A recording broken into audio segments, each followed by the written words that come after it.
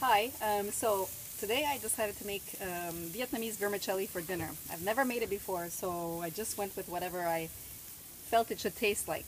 Um, I decided on shrimps because that was easy, and I had some in the freezer. I thawed them out, and once they were thawed out, I uh, dried them up and I put some uh, hoisin, a little bit of soy sauce, a little bit of fish sauce, some garlic, and some sriracha.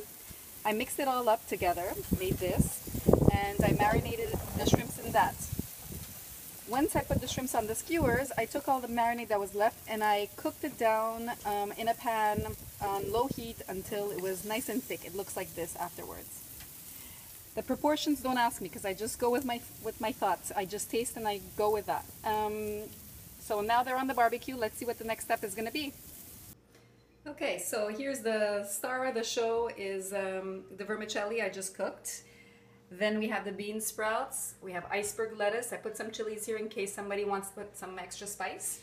Some cucumbers, carrots, mint, cilantro, green onions, some chopped peanuts, and this is the Vietnamese dipping sauce um, that I found at the store. I found it a little bit sweet, so I put some fish sauce in it too, and then I just tasted to make sure that it was um, not as sweet, a bit more balanced, and it, it fits. I like the flavor, so I kept it as is. It's for four of us, so each one gets a little uh, bowl. And now they're gonna take the shrimps and make their own bowl. That's and the it. most important question: When do we eat? Uh, as soon as the shrimps are ready. All right. Cheers. okay, guys. The vermicelli, shrimp vermicelli, is ready, and as will become customary, I am the guinea pig who has to go through the indignity of eating this food. So we begin with the vermicelli. Put it right here. Then I think I go to a bit of this. On the the- side, I think. the romaine lettuce. It's iceberg actually. Oh, iceberg. Thank you. A little bit of those on the side. A bit of the Bean, bean sprouts. sprouts on the side. Then these do I uh, break yeah, them you peel the mint leaves. Okay, peel them I'll just put a little bit on the side. on the side. It's a salad essentially, right? This, a bit of this, Cilantro. cilantro. If I had Thai basil, I would have put Thai basil as well. All the aromatics. Take a bit of cucumbers. Throw it in there. Some carrots. Some carrots. I think ideally you would marinate the carrots, like pickle them a bit, but ah, it's okay. That'll Okay. do. And then go our beautifully marinated shrimps. Uh, I'm gonna do it with my hands if you don't mind.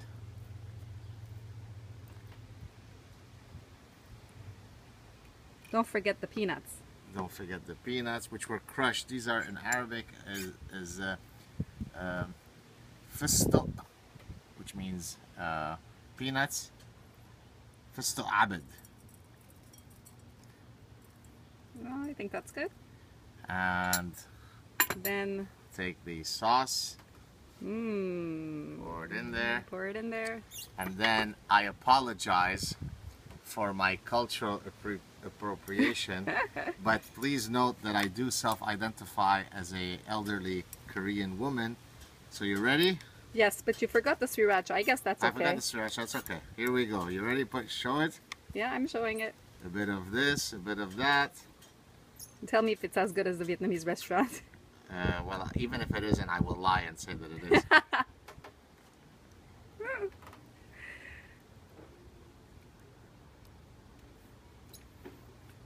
Mm-mm-mm. You wish you were me. Cheers, everybody. I love you. Bye.